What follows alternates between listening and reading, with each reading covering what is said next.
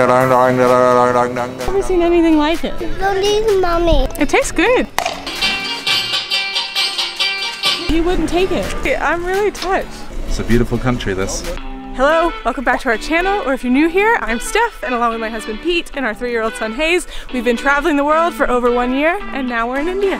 Last time you saw us, we were in the middle of Ahmedabad's old city in that 150-year-old Haveli. Today, we're in rural Gujarat, staying nearby this mango orchard. Mommy, you want to make a train track this? We are going to wait to show you the incredible Devpur homestay. Because the main reason we came to Kutch is because we wanted to see the Great Rann. So cheesy. So let's backtrack a bit and we'll show you how we got here. We're not stopping here because we're going to a few other places, but that's ooh, pretty cool Hanuman on the side of the road. I've always said Hanuman is my favorite god because I love monkeys. That's cool. Okay, let's keep going. Success.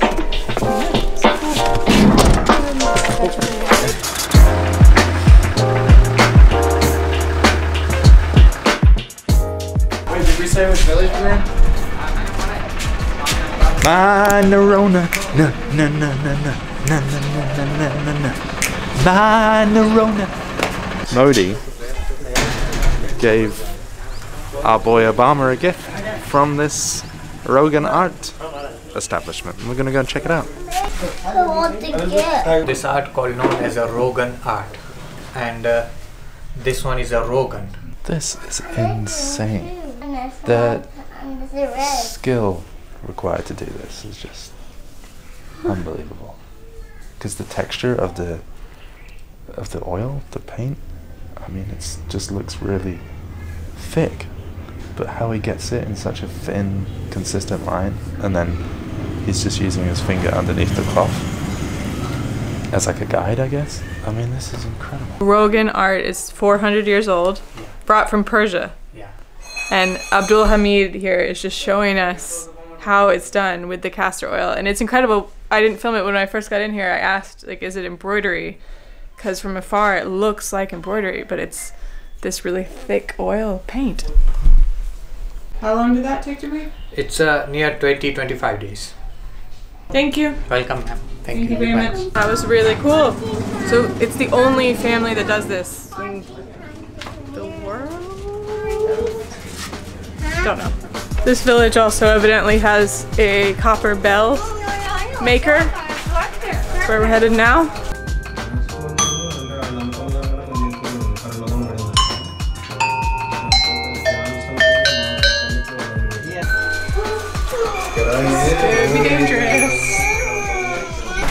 There was no way I was leaving this place empty handed.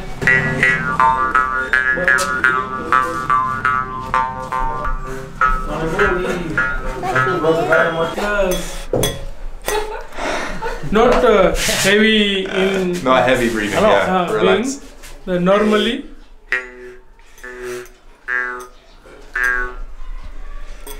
And get the. Like the faintest, like the tiniest little sound. You have to get really close to the mic.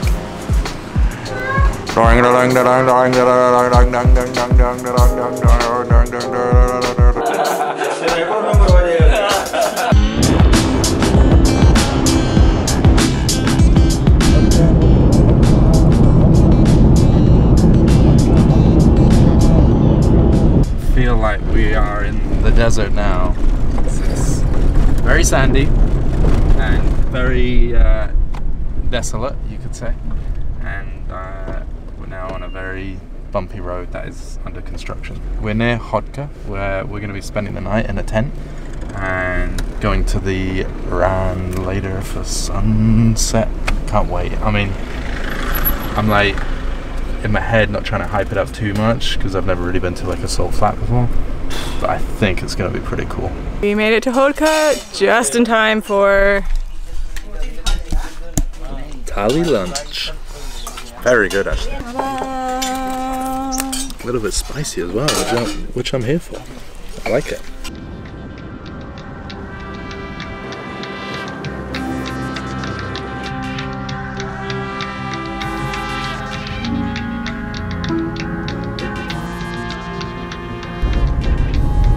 gonna be late. Okay, so we're now at like the entry gate into the Rann. Great Rann. And um, a lot of people are stopped because they're having to do their paperwork. You have to have like a, um, you have to have a permit to go in. Our excellent driver here s- got our paperwork far outside, which saved us a lot of time to get in. And uh, now we're just cruising through past everyone else that's having to do theirs. Is that right? We may have spoke too soon. We didn't bring our passports. And they want to see them again. I don't know why. Seeing like a lot of nodding from Pete. Looks like perhaps we don't have to go get the passports. He's coming back. Looks like some big thank yous. Did he talk his way through?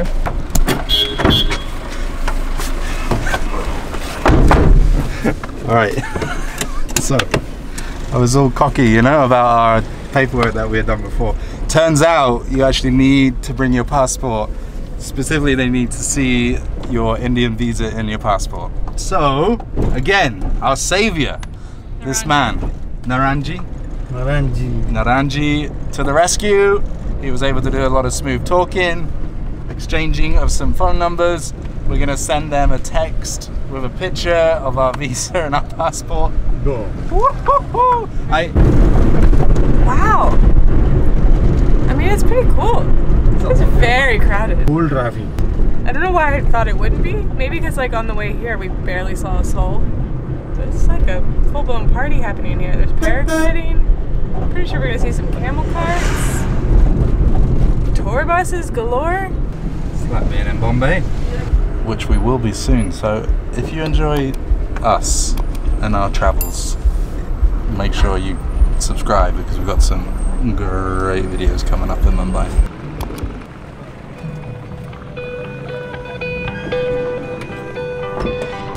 Which way should we go? Should we just go straight up here and then go out that way?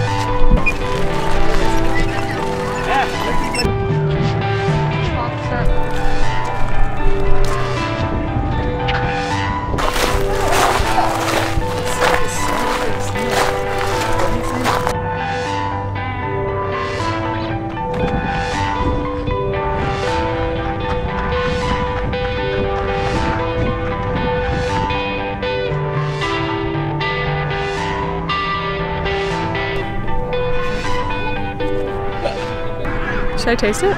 Ooh, yeah! Do people do that? Do people taste it? Like, how could you not be curious? It's just like a bunch of salt, right? Okay. There's salt everywhere. How do I find the cleanest bit? Let's dig. Okay. It's wet. This is not a good idea. I got you this bit here. Oh. oh, that's a good one. Don't leave mommy. It's just, How is it? It's salty. Is it? It tastes good. Can't, all right, Do people do this? Is there a reason why people don't do this? I'm gonna try a little bit. Oh, it's very fishy, isn't it? No. Mmm. Mmm. yeah, the fish from, uh, the fish from the sea. Yeah. It's not fishy. Why?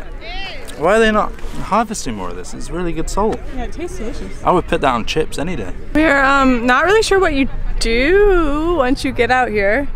We've taken some photos. We've tasted it. It's beautiful. I think you're supposed to do some of those like illusion photos, but I don't really have anything or know how. Or do what the Indians do So we'll have to go to Bolivia. Mm, time pass. Look at this. It's like I've never seen anything like it. All right, this video is turning into the uh, top five things you're supposed to do on the uh, Great Rann. Number five is a little bit of Salt Bae action. Number four thing to do out on the Great Rann is just like run off into the distance.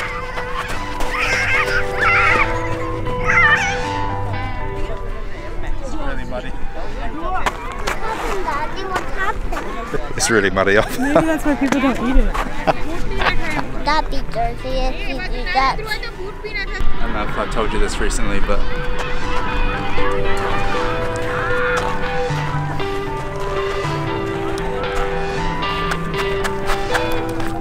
Sun is starting to set.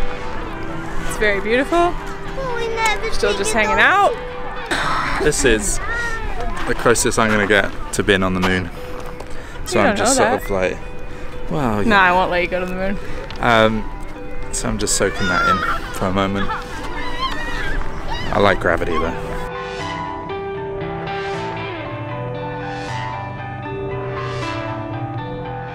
Little PSA, sleep, really important. That much energy. Hayes didn't nap today. Don't plan a big adventure when your child hasn't napped. We made it back just before total darkness. We're feeling we're gonna be stuck in quite a bit of traffic. It's a Friday, by the way. I don't know if it's always this busy. Look at the guy, mommy. Look at the guy. He's like blue and purple with with orange.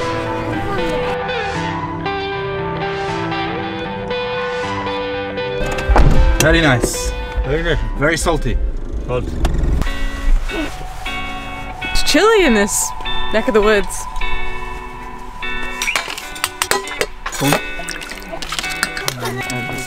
Thank you.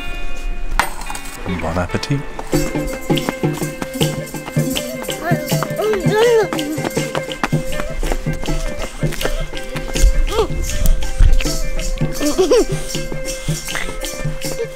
Good morning. How you doing, Pete?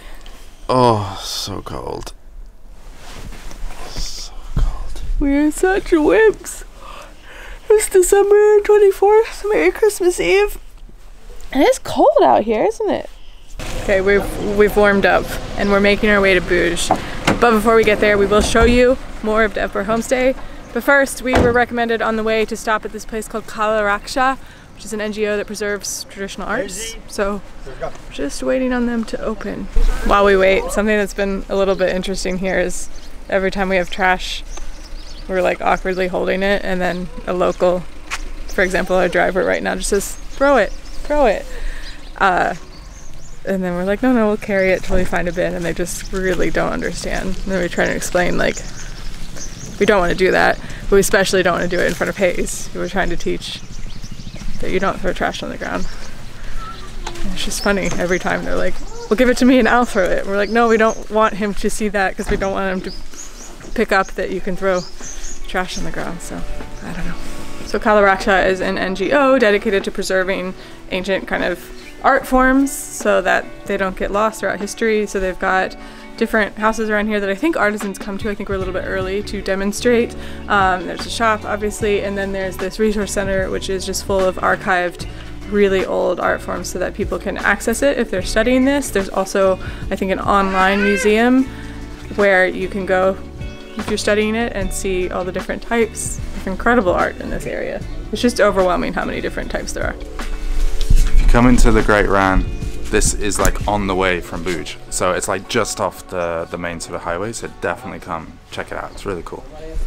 Okay, one more little story time before we show you Devpur homestay and end up in Bhuj. But on the way here, which was like four days ago, I left my wallet on the train. I don't know how, or if I dropped it on the platform or what.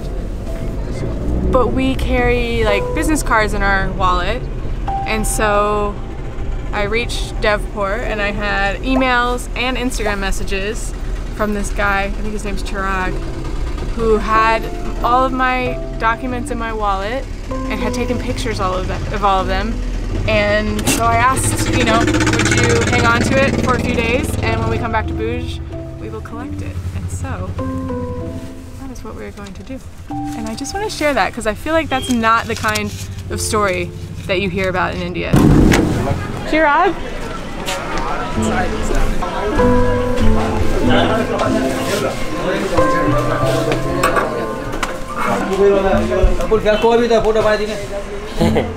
Muttu, you have a half Yes. You? It's okay? Thank you so much. Thank you. Thank you. Thank you. Thank you. Thank you. thank you. Where was it? Train से मिला हमको On the train? या no no Yes, no no please, please, please. No no no no Please. No You kept it safe. ऐसा अंदा का भैया था Thank you.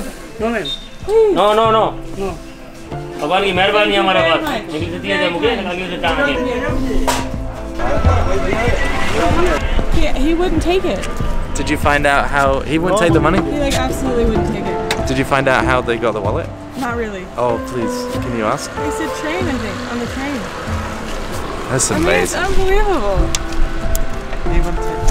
I'm really, I'm really touched. I am teary-eyed though. I'm gonna, I'm gonna go say thank you. I'm gonna go say thank you. Do you want to try the money again?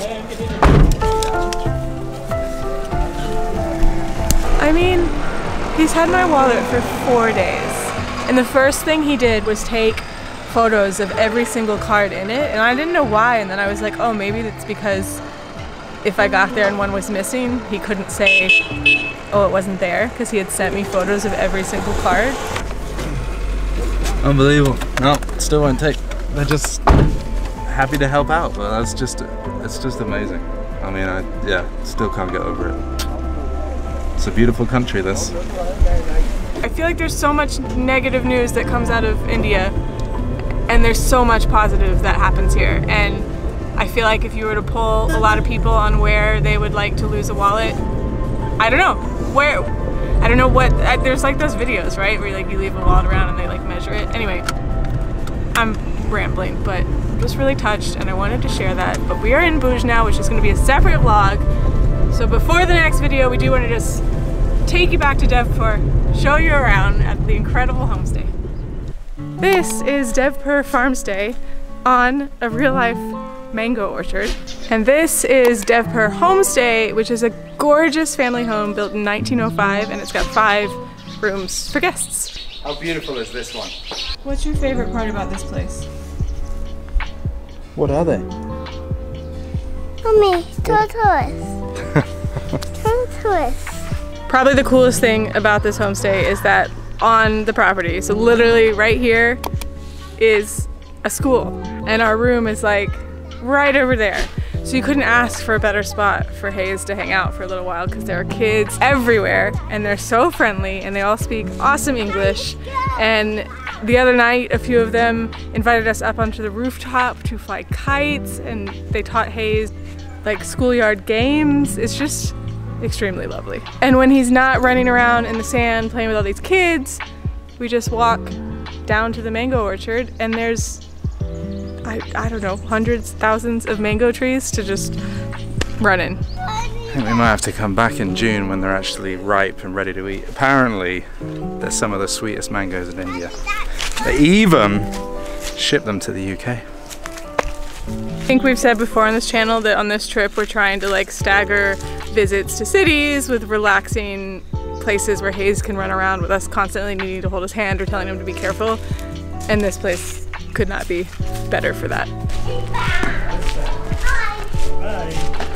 Currently, Hayes is learning how to play cricket.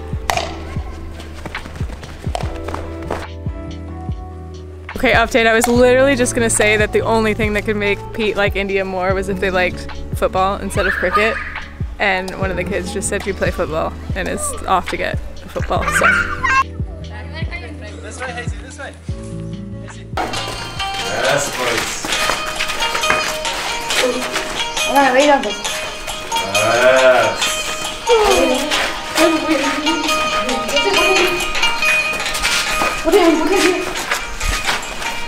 That's the Kutch folk dance. everybody learns it. Yes, yes. Uh,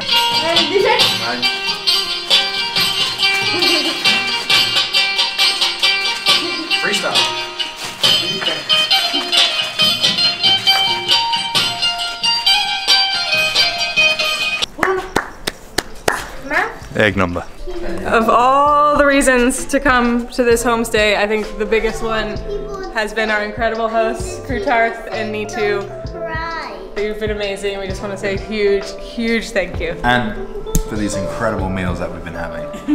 so It's amazing. Breakfast and food. Breakfast, lunch, and dinner. It's our last day here at Devpur Homestay. and We're packing up, and I'm sad. It has been such a lovely stay. I hope that came across how special this place is. All thanks to Krutarth and Nitu, who are just unbelievable hosts, basically unrivaled hospitality. So I hope that if you find yourself in Gujarat and specifically Kutch, that you will consider coming up here for a stay because you will not regret it. Anyway, that was our journey to Kutch and to the Great Rann. I hope you enjoyed it. Gujarat has been amazing. If you liked this video, please give it a thumbs up. Consider subscribing to stay tuned to see where we travel to next. And we'll see you in the next place.